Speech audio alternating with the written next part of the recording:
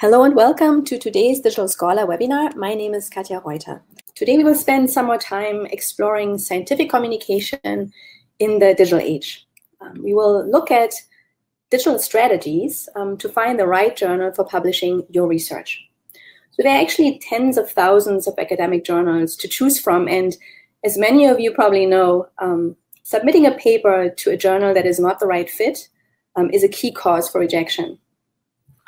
And the fact that we're experiencing the second journal boom in history doesn't make this any easier. So this webinar today will provide you with an overview of a number of digital tools and initiatives that help researchers select the right journal. So we hope that after today's webinar, you will be able to do three things. Understand journal selection mechanisms in the digital age, describe a couple of novel digital tools that help you identifying the right journal, and understand the role of associations in facilitating effective journal selection. So now it is my pleasure to introduce to you our speaker, Duncan Nicholas. Duncan is a former development editor at the international academic publisher Taylor and Francis Group. He's also director of a research publishing consultancy and senior consultant at or for Enago Academy. As always, please add your questions to the Q&A panel, which you can find on the right side of the webinar. And thank you everyone for joining us today. Duncan, the mic is all yours. Thank you. Thank you, Katja. Uh, it's a pleasure to be speaking with everyone today. Uh, excuse me. I have to find my slide. Okay. So I'm going to speak to you today about digital strategies to find uh, an appropriate journal to publish your research. And we've got several sections to go through today. Going to give you an overview of journal selection, and then we'll get into some key ideas of how to identify suitable journals and tools and techniques that you can use to fine tune your selections. Um, I'll introduce you to the Think, Check, Submit initiative, and we'll look at some platforms and tools that are available from publishers um, and Enago themselves of how to identify suitable journals and ways to some tools and websites to how to ensure the integrity, authenticity, um, and the, the rank and relative importance of journals that you might want to choose between. So we'll begin with an overview of journal selection. Now, one question uh, that it's useful to ask ourselves um, of submitting to journals is why we want to submit to journals. What is the role of journals? Why is it so important um, to choose a specific journal or even publish in a journal at all um, to get our work read by other people? So, this identifying the role of the journal and uh, and determining the, a value of why you want to submit and publish in a journal is quite important for choosing which specific journals that you might want to submit to. Uh, so, first and foremost, uh, well, any of these reasons could be interchangeable, in fact, but primarily a journal is for facilitating communication between other experts and researchers in your field. Excuse me. So they are they are the primary key way of uh, disseminating research among like-minded, interested peers. Uh, and journals help to set intellectual standards um, through an, a number of ways, partly through the selectivity of choosing which articles to publish and which to accept, partly through the researchers involved in the community around the journal, the editor, the editorial boards, the wider group of authors and reviewers. They all help to set uh, academic standards um, and progress the field in certain directions. So submitting to journals and getting published in them, of course, helps us to advance our careers, um, and certain journals may or may not look good on CVs. You may be required to submit and publish in journals that meet certain criteria, um, and the publication of work, the visibility of you and your research, and the value that you're contributing into this community with your work. That helps you advance your career and also helps other people advance theirs through shared knowledge. So it's all uh, contributing to the community of your field. So through through setting editorial standards um, and academic standards, uh, publishing in a journal certifies the authenticity of your research, the value, the integrity, um, and that's kind of the stamp of quality and validity that you might be hoping to receive by publishing in a journal. So though all of those concepts and things are, uh, are useful to bear in mind when you're choosing which journal might be suitable for your work. And we'll go into some reasons why um, shortly. So here is a, an illustration of the whole uh, the whole reviewing kind of publishing submission process from creating research, preparing the manuscript and writing it, choosing a journal to submit to, having it peer reviewed and revising it, uh, maybe being rejected, having to select another journal, uh, and ultimately being accepted. So the focus of today's presentation is the journal selection process and identifying specific titles and giving you tools to choose appropriate journals. So, uh, as Katja mentioned in her introduction, um, the number of journals, we are in something of a journal boom for various reasons. There has been a, a huge growth in journal numbers, um, which here in the slide from 2014, we've got 28,000 active peer reviewed journals.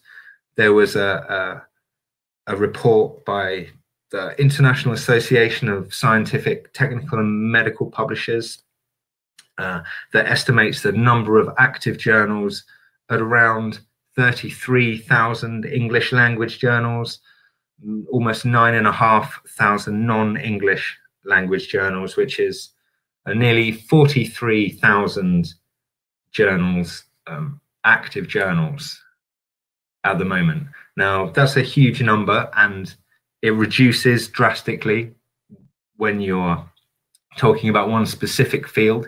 So you, of course, don't have to choose between that many different journals. Um, but in any one field, there can still be a very large number. So competition from journals to attract authors is quite quite fierce. It's quite competitive. Um, and that's one of the reasons why we'll talk about ranking journals later in some ways why there there are some some benefits and merits to some form of qualitative ranking of titles to help you choose which one. Uh, and that means that as an author it's very competitive to find to get your paper accepted into one of those few top journals. So next to next to this 28,000 active journals, we also have the rise of what are known as predatory journals, deceptive journals. Uh, I like to call them shell journals because they they are a problematic entity in the publishing kind of ecosystem landscape, um, and they they typically provide authors with no value at all to submit your paper, but they are uh, primarily interested in taking money from authors for open access publications. Um, and I'll talk in a little bit more detail about how to avoid those types of journals uh, later on in the presentation. Um, but this is foreshadowing uh, that information that will come later. So some key considerations to bear in mind.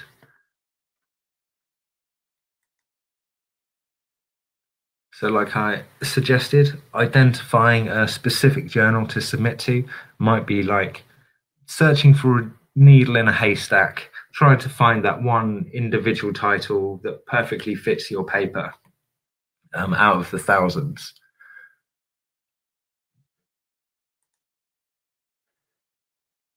So one of the well before before I get into kind of granular details, one thing that I would certainly recommend that you have uh, on your quest for choosing a right journal um, is to create a spreadsheet. Um, and you can use a Word document if you prefer. I'll, I favor Excel spreadsheets or for most of the things that I try and achieve. Um, so create a spreadsheet that you can capture all of this kind of information that I'm going to talk about in a moment. So for, for every journal that you look at, you can record. So we're on this slide for aims and scope. You can note some key details of each of the journals.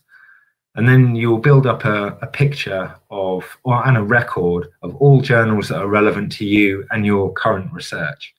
So this is quite, uh, it can be quite time consuming to do this, but it's certainly very useful for referring back to maybe the future papers that you write, future research that you conduct, um, assuming you don't change field entirely.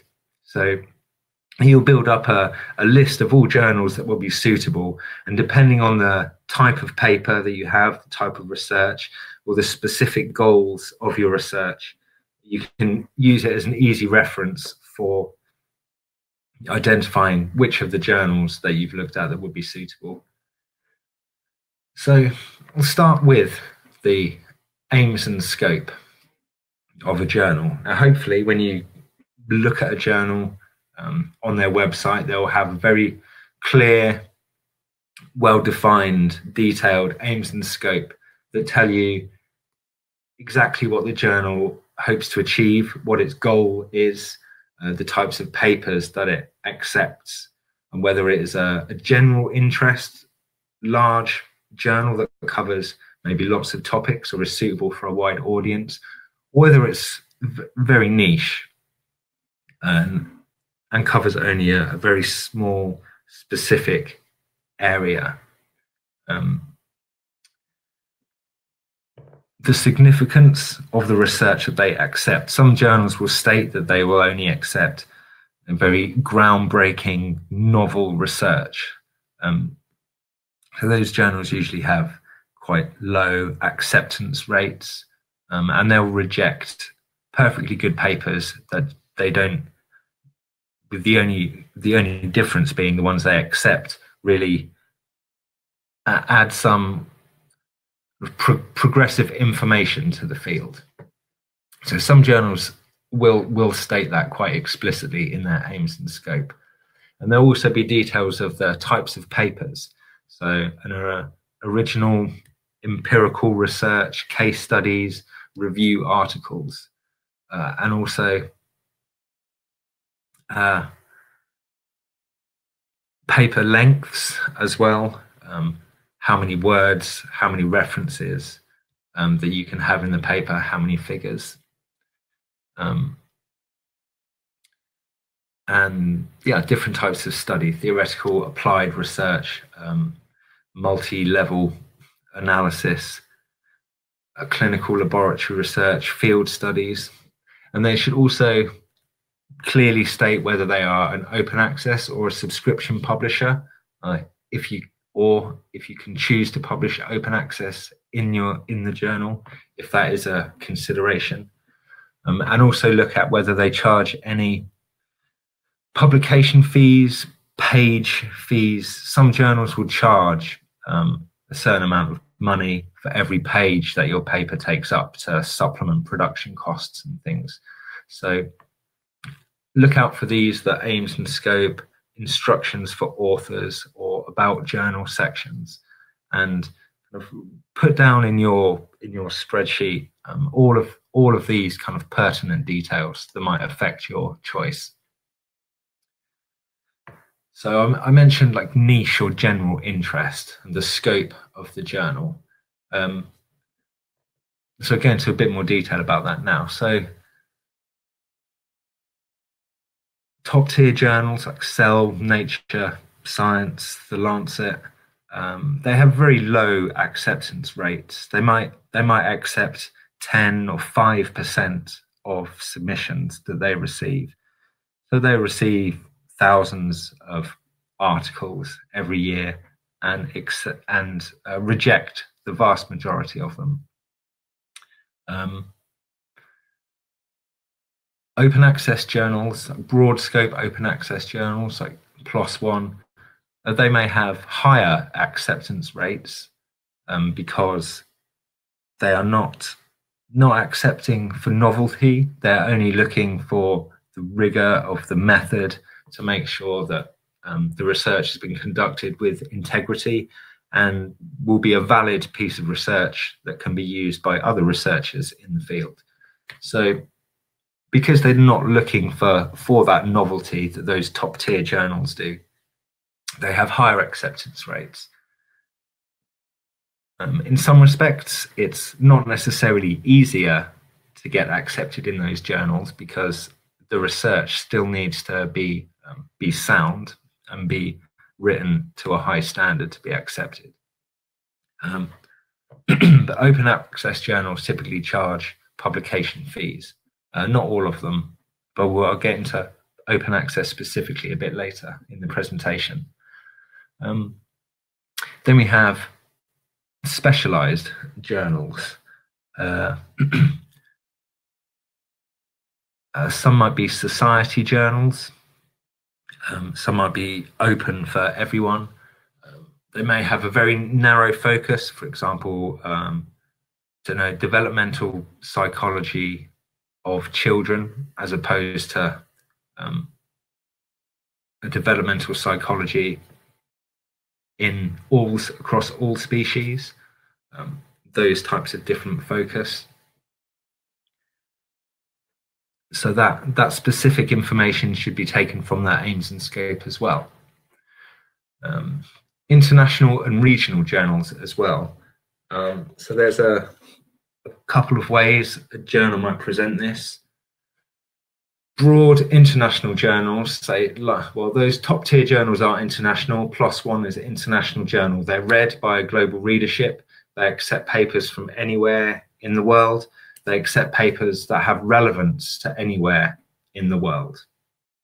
Um, uh, on the other hand some international journals may only accept papers that have a completely global international relevance. So, um, so an article uh, with relevance to just one region may not be acceptable for some international journals. So just because it has that word international in the title doesn't necessarily mean um, that they'll accept papers from anywhere about anything.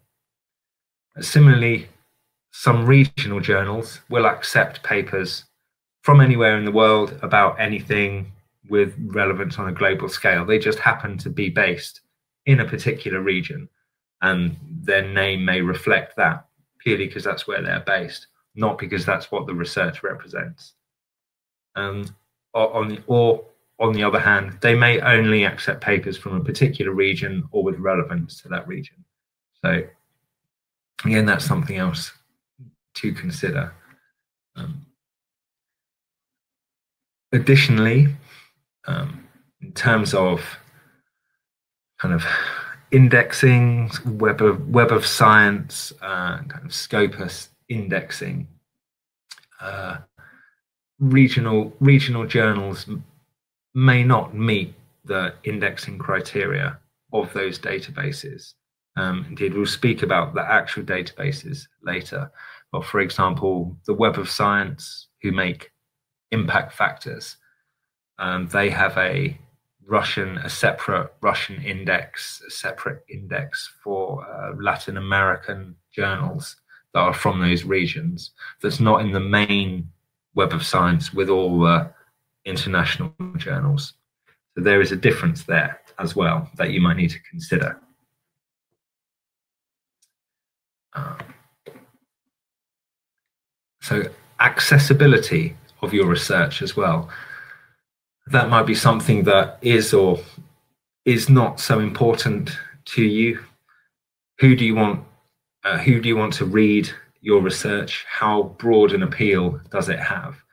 Um, and if your if your work has a very broad public interest, then you might want it to be published open access to give it the greatest accessibility. Um, if if you feel it's you don't need it to be open access or it's only really of benefit to your specific niche of other researchers, fellow researchers, then a then a closed access subscription journal um, might be suitable. Um, so if you're considering open access, um, there are different models that publishers might um, offer. So the traditional model, the subscription journal is completely closed, only available to subscribers. Gold open access um, is where the article, your article is made freely available for everyone to read, usually under a Creative Commons license. Um, so you get to keep the, the copyright and all rights to your work. That's a fully gold open access journal. Um, and green open access is where um, you'll, you will be permitted to deposit your accepted version of your manuscript um, into a discipline or institutional repository.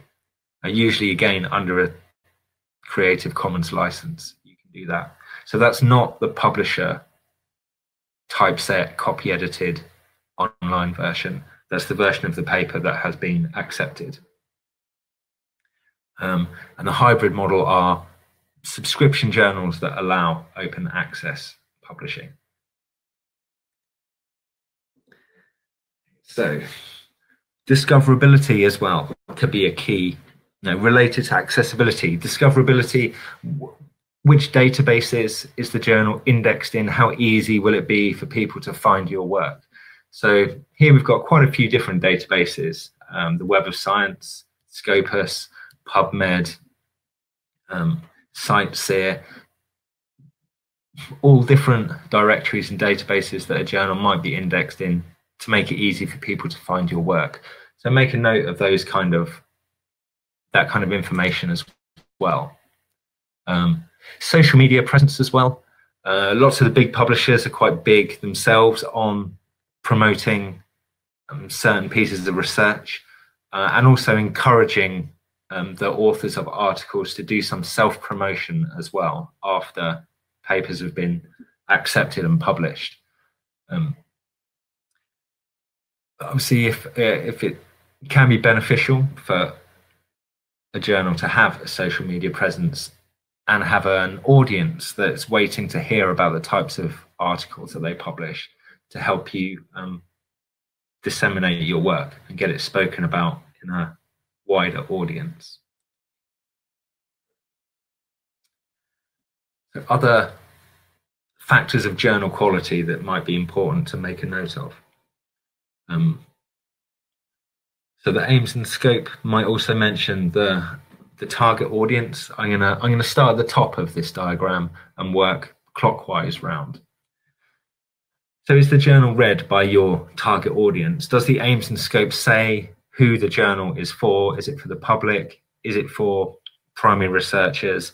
Is it for industry? Is it for uh, clinicians, nurses, caseworkers?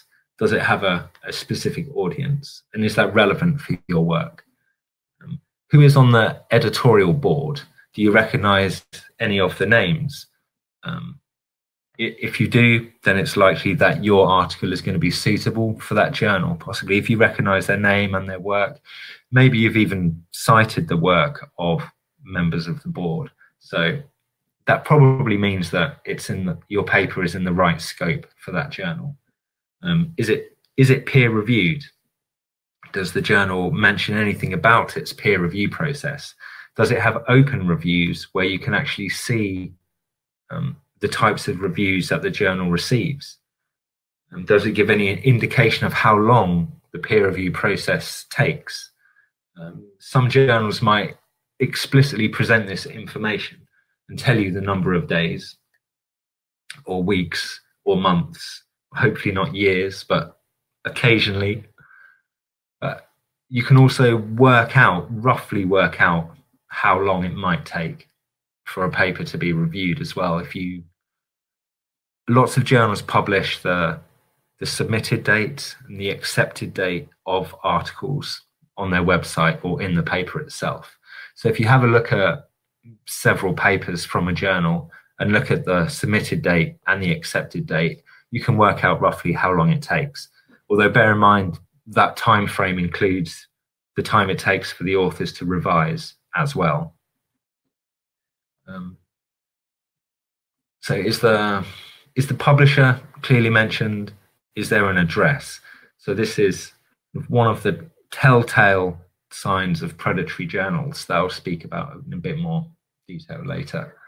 Um, how does the journal rank compared with other respected journals in your field? We'll speak about metrics a bit later as well. And that might be an important thing for you to consider. It might have some bearing. Um, but in terms of creating, adding information to your spreadsheet, of choosing journals, that will be any, any information is useful to add. Um, is the journal subscribed to by libraries or indexed like we were looking at in the last slide? Who reads it? Who is the built-in audience for the journal? Does it have official tags of ISSN number? Is it registered in kind of officiating databases? So does it look like a proper legitimate journal?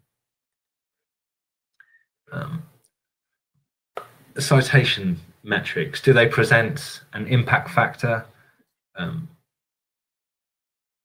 do they have so this colorful donut in the middle? Um, if don't know if you are familiar with alternative metrics, alt metrics, or um, so this is a in the last six seven years, alternative metrics have been gaining a lot of traction. And increasingly over the years more data is being added to these to the altmetric database and the sources.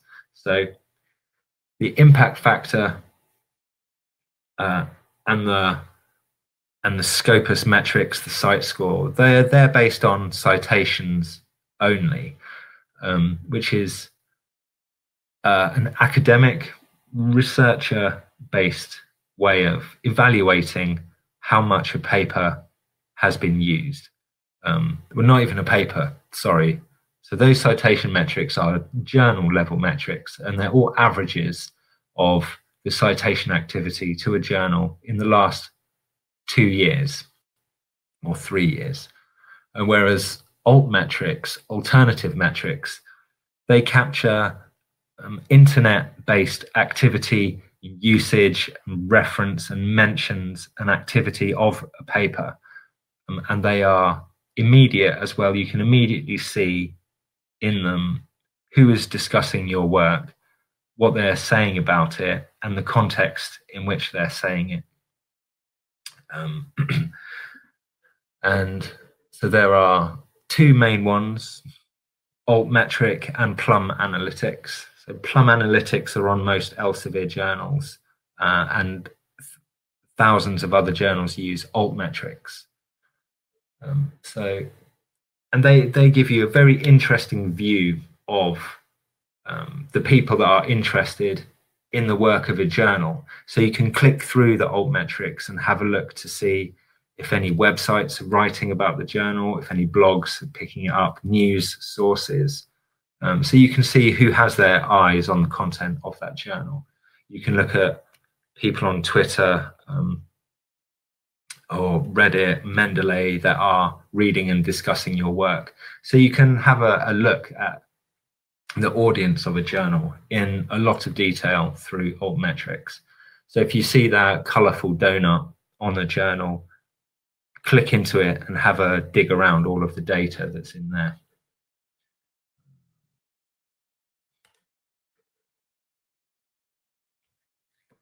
So uh, speed of publication, spoke a bit about that in the last the last slide. So some of them might present turnaround times from submission to acceptance, some might not. Um, speed of speed of review might be important to you um, in submitting your paper. Um, hopefully not, because the peer review process is notoriously inconsistent, let's say. Sometimes it can work beautifully smoothly and you can get two or three really constructive reviews back within a month, maybe even two weeks from a journal, revise, resubmit in the next couple of weeks, and be published within a matter of months. Other times, it can genuinely take a year, over a year, to go through the whole peer review process. Um, so, really, when it comes to peer review, be prepared for anything.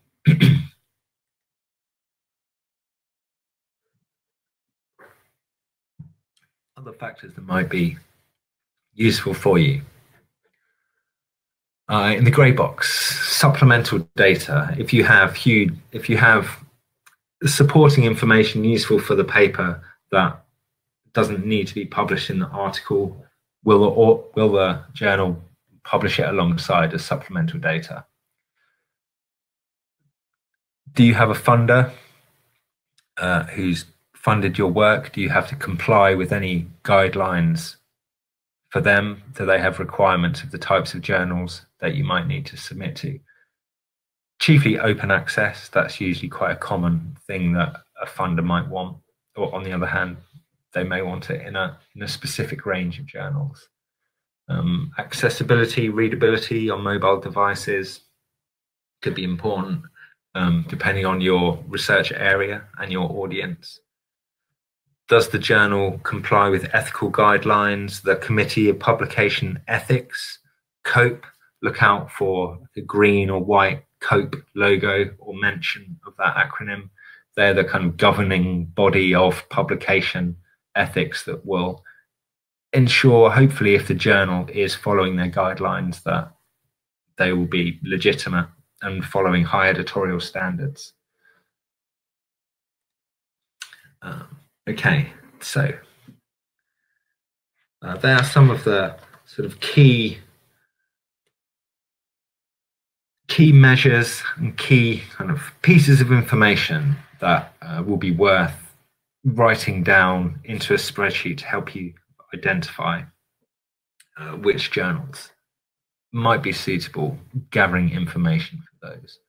Um, and of course, your, uh, as well as kind of browsing journals, um, you can look through your reference list, the journals that you, the articles that you reference to inform your paper. Um, that's probably the, the first place, the best place to start looking for suitable journals.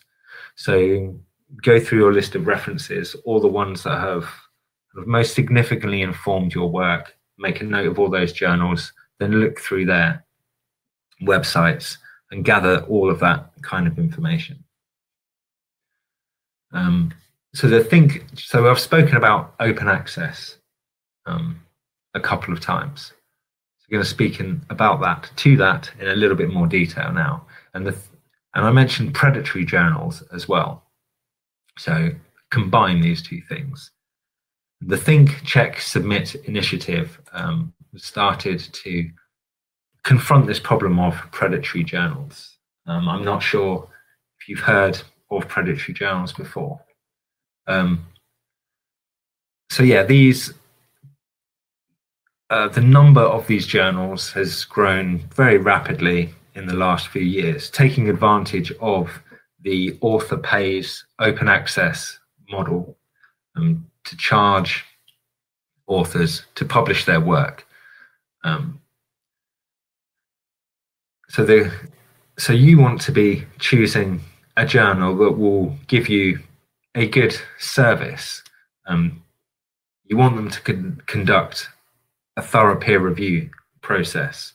Uh, although I was saying it takes a long time and it can be very daunting to have your work critiqued, um, it's also almost all authors say that the peer review process um, significantly improved their work, fine tuned their writing, and their articles are much better for having been peer reviewed. Now, these predatory journals typically don't perform any peer review at all. They will just accept any paper that is submitted to them because they want the money from the authors. So that's that's one of the key problems with those types of journals. Uh, so it means that maybe we can't trust the research in those types of journals as much as ones that do conduct a thorough peer review process. Um, so the Think, Check, Submit initiative is designed to help avoid those types of journals. Um, and they have a, a checklist for assessing the quality of a journal based on all the types of things I've just been speaking about, um, the, the kind of integrity and editorial processes that journals have. Uh, so Think Check Submits is an initiative started by all of these organizations. There's the Committee of Publication Ethics in the middle, um, Open Access Publishers Associations. Um, and this DOAJ at the bottom, um, the directory of open access journals. And I'll get to them in a little bit more detail in a minute. Um, so Think, Check, Submit asks you, first of all, to think whether a journal could be a predatory journal, um, and then check on various criteria to see whether you feel that it is of high quality enough and will offer you a good enough service and get your articles read by the right community of readers. Um, so offering you a value that you need. You spend a lot of time conducting and writing your research. You don't just want to put it on a website and have no one read it. So that's one of the key important things that good journal will do for your work is to get it to the right audience to read it. Um, so think, check, and then, yes, if you're happy with the journal, uh, then submit to it.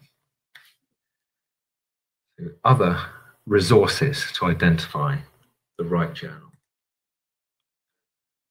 Uh, Find My Journal is a, a website which uses algorithms to give you a list of suitable journals from uh, most oh well, all the major publishers Elsevier, T&F, Wiley, Springer, um, Web of Science indexed journals, Scopus indexed journals, um, Sage publisher. So uh, it indexes uh, a large number of journals. So you you can paste your abstract and title from your work, and then it will um, check against all articles from all those other journals um, and bring you back lots of suggestions. And you can filter it for a number of other factors as well. Um, subject area, and look at article types as well, whether they accept your article types, estimated turnaround times if that's important, um, journal metrics, Web of Science indexing, those types of things, filter it for all those. So that is findmyjournal.com. Um, that's one useful tool. So that, that looks at closed access subscription journals and, and open access journals as well. So everything that those publishers produce. Um, Enago themselves also have a um, a search a search engine based on the directory of open access journals, index their list of journals. Um, so similar to Find My Journal, you can paste in the details uh, of your paper here, add your abstract, um, and then we'll look at uh, nearly 3 million articles to give you back a match of suggested journals. Um, and you can do some other uh, kind of filtering and investigating of which ones might be the most suitable for your paper as well. and there are other. So both of those, Find My Journal and the Enago one, are cross-publisher, big reference databases. Um, and from them, you'll get a nice big list of journals. But they're also publisher-specific tools as well that you can use that will only search that one publisher's platform. Um, so Elsevier have had their journal finder around for a while. Springer have got one, um, and Wiley have just started their own one as well. Um, now the Elsevier one actually does provide turnaround times for the results in there.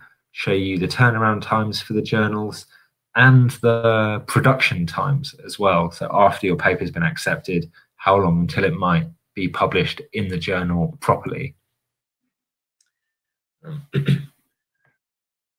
so that's that's something quite interesting. If that matters to you, Elsevier journals will actually tell you that. Um, excuse me.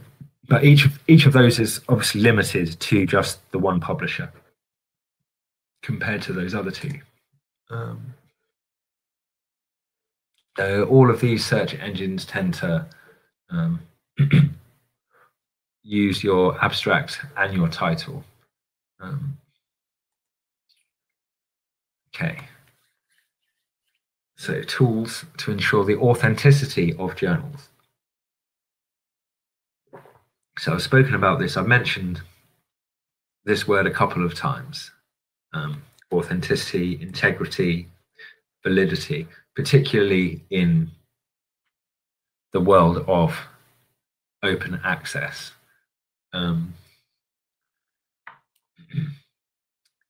so the directory of open access journals um, is several, several years old now, and it is a large database of over 12,000 journals that publish open access articles um, in science, technology, engineering, medicine, as well as social sciences in humanities. And they have, together with um, the Committee on Publication Ethics and Open Access Publishers Society, they have created some quite granular, very, very fine criteria for accepting journals into their database.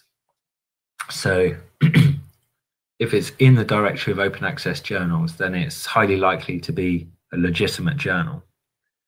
Um, and they also, you are also able in there to search by um, article processing charges, whether um, whether the journals do charge any submission fees or article processing charges. Um, and there are a large number of journals in this directory that offer free, no charge, open access. Um, I think the the average price cost for an article processing charge for open access in all of the journals indexed in this directory is about uh, 800 $900 and i think for um, to publish in a publish as open access in a subscription journal under the hybrid model um, the average is uh, maybe 1500 2000 um, and the range of prices for article processing charges go up to $6,000 in the big top ranked um, glamour journals like Cell and Nature. Um, so the range of prices for open access is considerable. And you can get that kind of information from Directory of Open Access Journals. Excuse me again. Um, and you can look at the article level in in this directory. So if a journal is looks interesting and you want to investigate a few papers to see if they really do publish similar articles to yours. Um, if you search for your journal title, do any journals come up? Are there similar papers to yours? That probably means that journal is relevant for you to submit your work to. Um, so if you're looking at open access journals, make sure that it is indexed in the DOAJ in this directory. Um, because it does have quite strict acceptance criteria. And some of the journals have a special seal as well, a special little logo next to them um, to say that it's been you know, specially commendated by the directory. Um, some journals get removed um, from the directory, so it is continuously updated. Um, uh, so this acronym here, the Organization of Open Access Scholarly Publishers, um, that's a, that's an organization of of publishers interested and invested in furthering open access. So they they helped to write the criteria for inclusion in the directory of open access journals. Um, and if you want to have a look at their their website there, it's oaspa.org. The directory of open access journals as well as DO is their website is doaj.org. Um, but uh, yeah, you will be sent the slides or you will have access to the slides after this presentation. Um, so if I've skipped anything too fast or you want to check anything again, then you'll be able to go back through everything at your leisure. Um, okay, so metrics, other indexing databases, the, the Web of Science, Clarivate Analytics, uh, indexing. Um, master journals list. This is publicly available, the master list. Um, uh, possibly you already have access to the Web of Science or InCites through your institution anyway. Um, but if not, uh, you have the master list here, and you can search to see if a journal is in there, see if it's covered. Um, uh, okay, so journal ranking. Um, Scimago as well. This is the Elsevier Scopus database, similar to the Web of Science. Um, indexes, lots of um, think how many journals? Thirty thousand journals, so lo- lots of them. Um, and this provides metrics, um, their own Scimago journal rank index, and a H index for journals as well, based on the citations that are recorded in the Scopus database. Um, so you can have a look at subject areas in here and in the Web of Science. Um, have a look at how they're ranked against each other. Uh, see where they are in the in the field, how they compare, um, and you can choose journals from there as well to investigate further. Check out their aims and scope and all the other things that I spoke about at the beginning of the session. Um, so here's an image from from the SJR. Maybe it is familiar to you. Um, yeah, you can have a browse through regions, types of journals. So here on the kind of the top left, there's only open access journals, only SciELO journals, um, or only Web of Science journals. So you can limit it to different sources here as well. Uh, and that is the end of uh, our prepared presentation. Um, and I will try to answer some of the questions that you've been sending us um, uh, very shortly.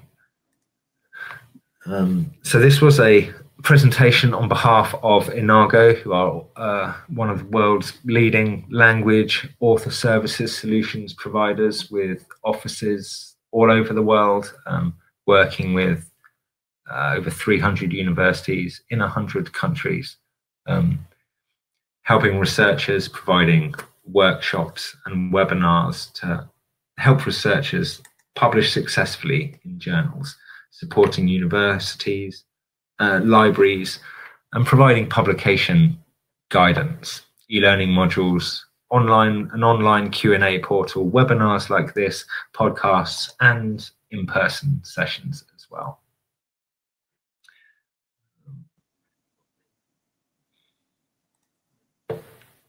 Duncan, thank you so much for this presentation. So we have a, a, good number of questions here. If you don't mind, please take a look at the Q&A and the chat, and you can uh, read out loud the questions and then answer them, if you don't mind. Uh, yeah, no problem. Um, I'll see. Uh, okay. So first question. OV13, is publishing only intended for researchers only? What communities other than traditional academics, science researchers are pursuing these channels? Um, that's a good question. Um, uh, see, people, uh, well, from personal experience, people in the publishing industry publish in journals. I do a lot of um, writing and work looking at editorial processes. So I've published in journals, and I'm not a, a researcher at an institution. Um, citizen science as well is gaining a lot of momentum um, with public contributing to uh, primary research processes, data collection, and things. Um, uh, and uh, I mean, tangentially, I don't know if how many of you have Twitter, use Twitter, spend much time on what's known as academic Twitter. Um, but if you do, you might, you know, you will meet a lot of people on there who are not um, traditional formal academics, but who are researching and who are involved in journal publishing and research. So uh, hopefully that answers that question. Um, how long does it usually take for a brand new journal to get indexed and rated?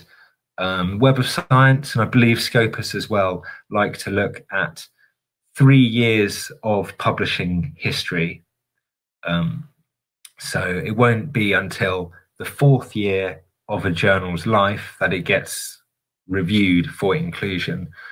So it's likely to be, and usually the fastest it will be, it'll be reviewed in the fourth year, maybe indexed in the following year, so the fifth year of a journal's life. Um, it can happen much faster.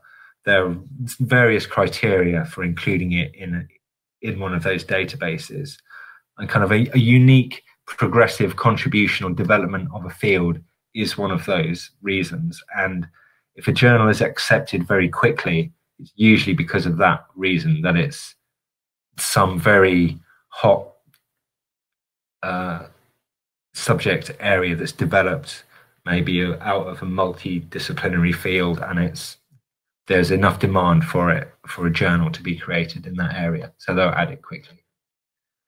Um, is open access journal required to charge publication fees? Uh, hopefully i covered that already with the directory of open access journal section. Um, no it's I mean the, the publication fee and and subscription fees are, I mean, pri primarily to cover the costs of running a journal, and there can be considerable costs involved in all of the processes that it takes to um, manage websites, manage the peer review process, uh, manage the whole editorial process. So there are costs involved. Um, and that may that dictates some of the fee. Um, uh, and a journal may get funds to cover that from somewhere else, which means it doesn't have to charge the author any funds to cover the publication. So some journals don't charge anything, uh, whereas other journals charge thousands of dollars to cover their costs and possibly a little bit of profit as well and possibly a lot of profit. It's debatable. Um, hopefully that answers that. So, where can you find statistics about the readership of certain journals by geography? um, the Web of Science and Scopus, you can download the data.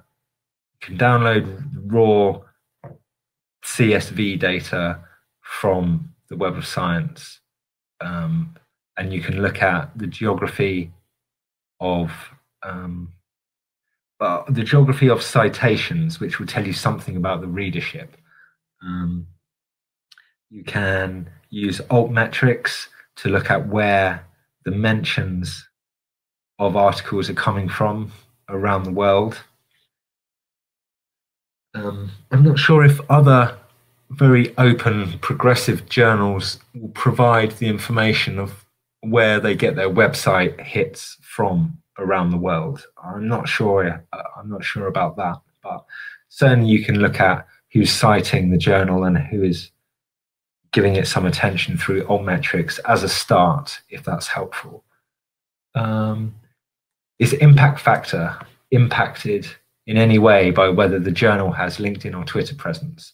Um, this kind of links into the altmetrics, alternative metrics, and there is a growing body of research that is investigating whether the immediate attention from the rest of the internet, from media, news sites, social media, whether whether a large scale of attention there does equate statistically significantly to in, increased citations and therefore impact factor um, later on. But I mean, impact factor is at a journal scale, so it would have to be very consistent across lots of different articles to affect the impact factor. Um, you know, personally, I would just look at it at, on an article by article basis to see whether there is an effect there. And there is there is some growing evidence that yes, a lot of attention at the beginning does lead to increased citations later. um, okay, how uh, online journal reads measured site visitors, article page visitors, downloads. I mean, ha- how how are they measured? That's just uh, visitors to the journal. Um, you know, Google, Google Analytics that can measure that that kind of sort of internet traffic tracking infrastructure. That's where those come from. Um, okay. So you, uh, someone has asked, I have a niche paper. Uh, oh, let, let me just uh, ask Katja, is this webinar going to cut out on an hour or can I just keep talking? No, feel free to go ahead. Um, as long as people stay on the line, so to speak, uh, we can go a little bit over time. So thank you for, for doing that. Okay. Uh, so you have a niche paper that you are having a hard time finding a journal for.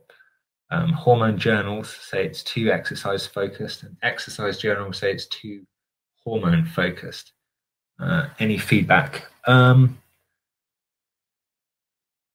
perhaps you know a a broader scope journal. So that that sounds like each of those is has its own particular niche.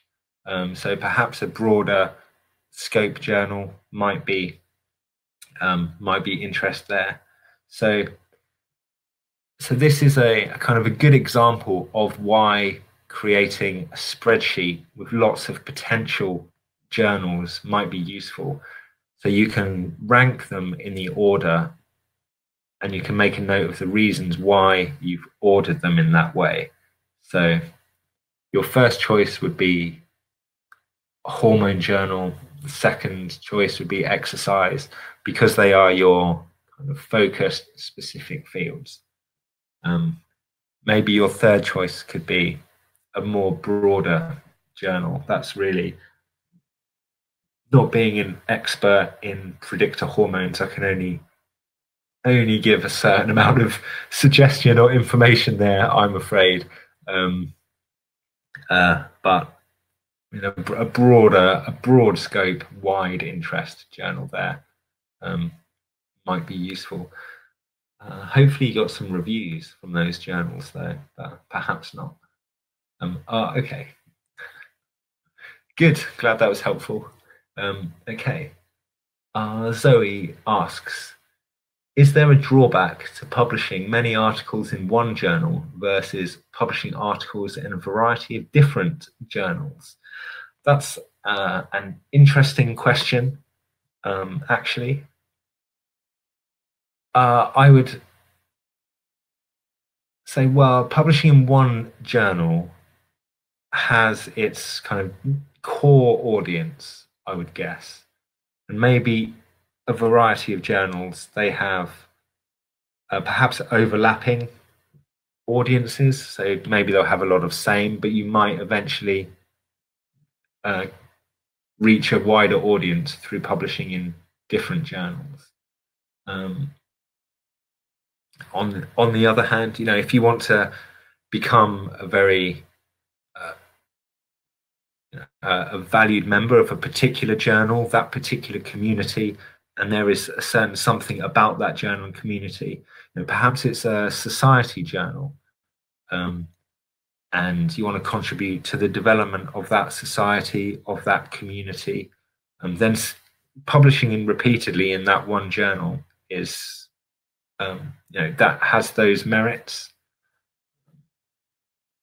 Uh, but I mean, really research in, increasingly research is and the goal is for research to be evaluated at the article level not really the journal level. And i think the way people are searching for research finding articles um, is not really based on receiving a paper journal through their letterbox every couple of months.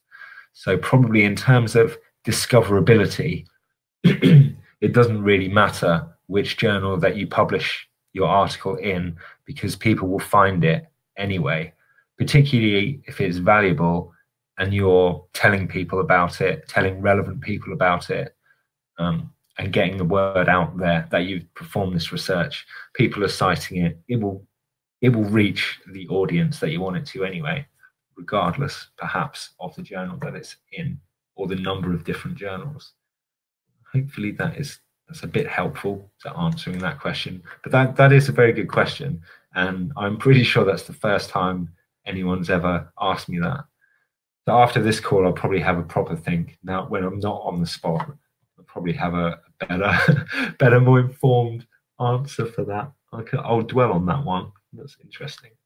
Um, and so we again do articles published under a gold open access model generally get cited more than articles published under a green open access model.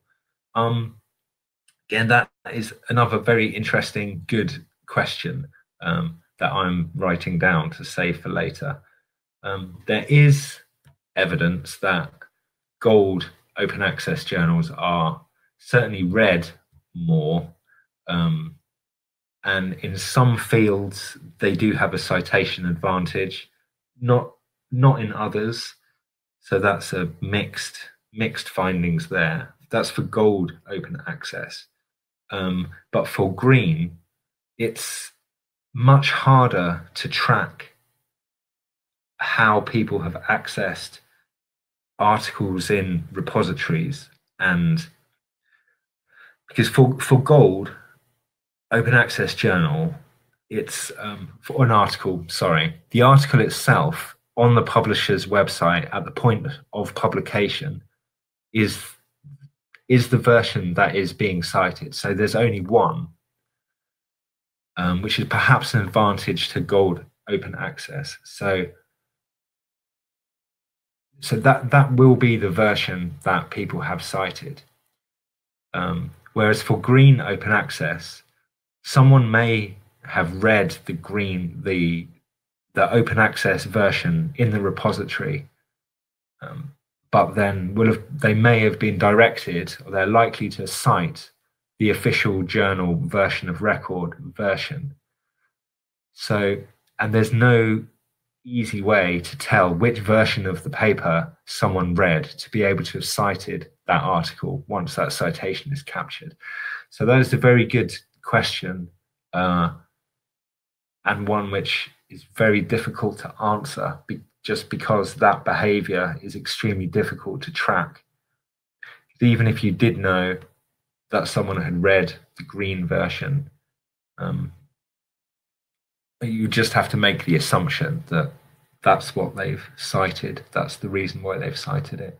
Um, again, that question is going to keep me up for an extra hour tonight, dwelling on it. I think it's a good question.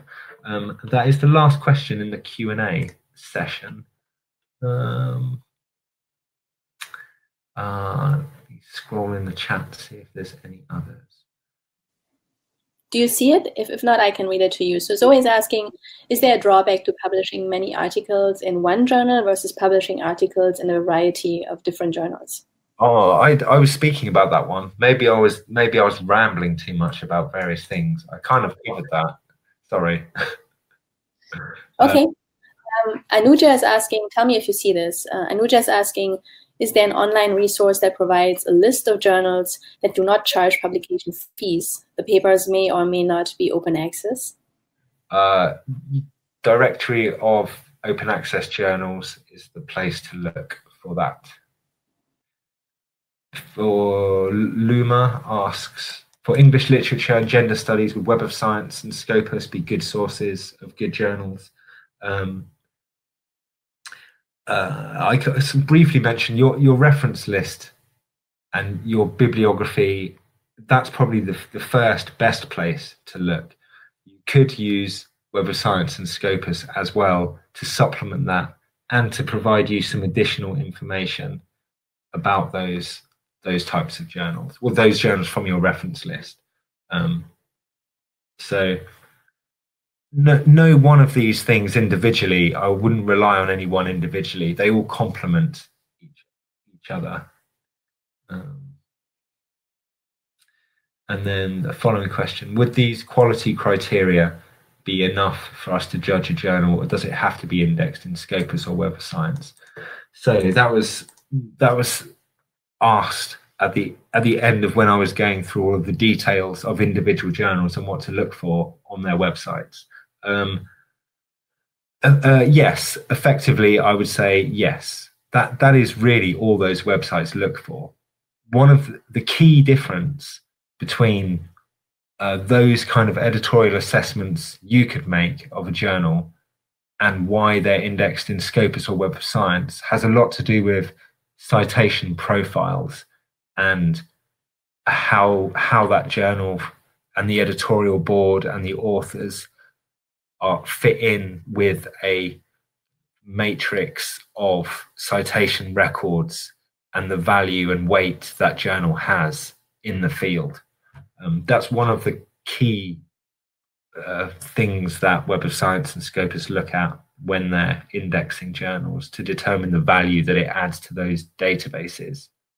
Um, so, no, it doesn't have to be indexed in in those databases.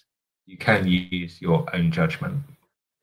Um, hopefully, that's a helpful answer to that. Uh, Zainab asked, "What's my take of altmetrics?" Um, that was before I started speaking about it at length. Um, briefly, I really like it. I love it. There's loads of information there. Um, you can dig around for ages. Janine, is there one specific source where you can find ranking of journals by speci- speciality? Um, yes, but Web, Web of Science and um, Scopus, you can sort journals by the subject area and various things. Um, so yeah, hopefully that covers that. Um, uh, Luma again, is peer review timeline in the sciences faster than in the humanities? Uh, yes, quite often, but not always um, is helpful answer to that. There's a website called SciRev, S C I R E V, which has a lot of that information in it. Um, they are so that they compile turnaround times from different subject areas and give different benchmarks of turnaround times. And so you know, scirev.org, I believe, I think um, that's the, the, yeah so have a look at that website and you can see some sort of subject area times to give you a sense what is standard or common. Um, what are the cues to identify predatory journals?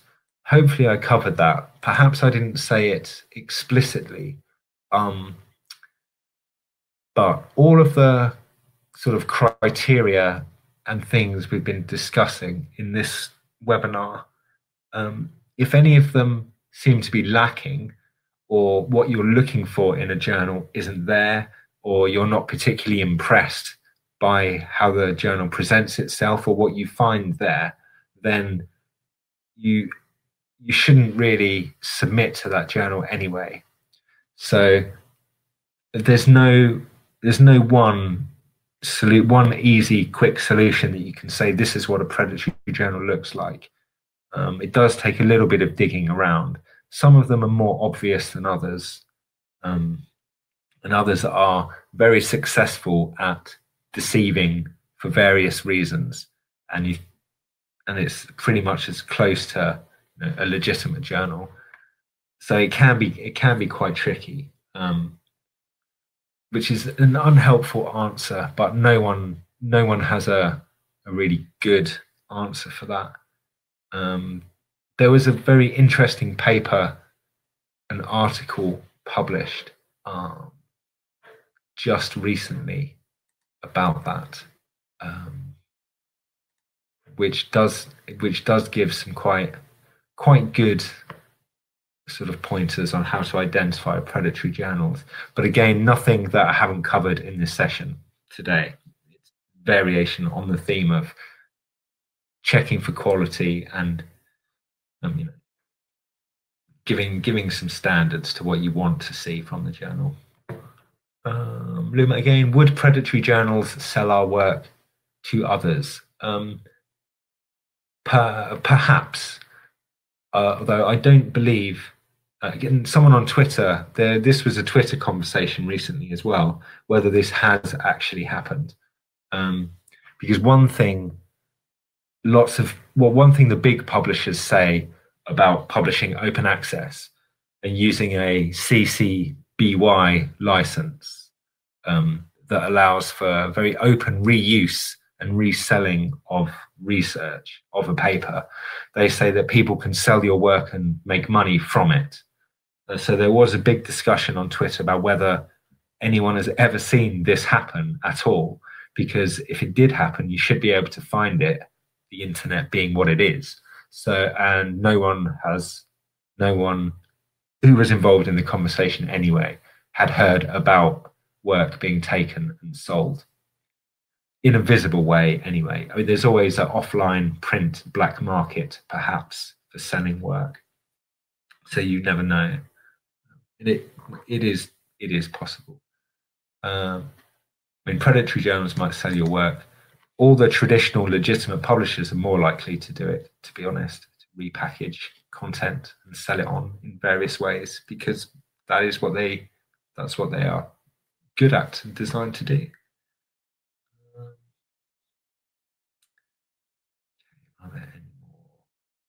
What is the impact role of LinkedIn and ResearchGate in knowledge dissemination and traditional impact factors? Hopefully, I kind of covered that one with alt metrics, alternative metrics. Um, do you see any disadvantage in publishing a work in bioRxiv prior to submission? Uh, no, none at all. The only reason why you shouldn't submit your work as a preprint before you submit to any journal is in the rare cases when a journal won't allow a submission if a paper has been in a preprint server at all. Um, and there are not very many of those journals.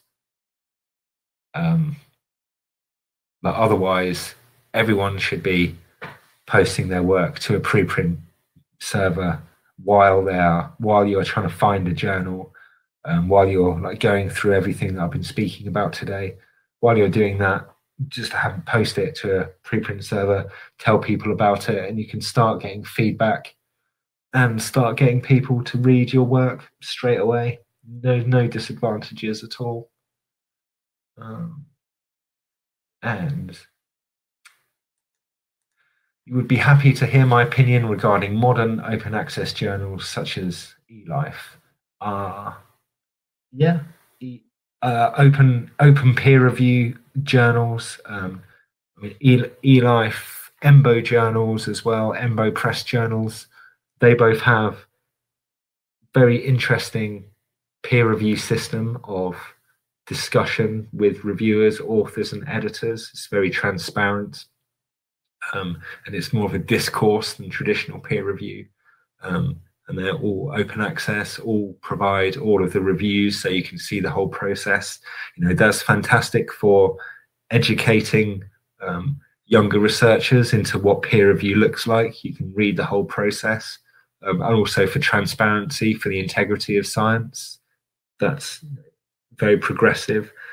Um, journal like F1000 as well is excellent. Um, their their version of transparent peer review process and of public um, peer review at submission stage, post revision stage, acceptance is really interesting as well. Um, very personally, the future of journals is more platform based than journal based. I suspect that is definitely the direction it's headed. So Duncan, thank you, thank you so much for answering all of these questions. Thank you. The audience was fantastic today. Thank you everyone for joining. Um, if there are any additional questions, I'm sorry? I was saying thanks everyone for all those questions. Really good questions. Yes, and if there are any additional questions, feel free to uh, follow up with us, send us an email, and we'll make sure we share this with Duncan if necessary, or you can contact him directly at Enago. Um, thank yeah. you, everyone. Yes, bye thank bye. You. Thank you. Goodbye. Good day.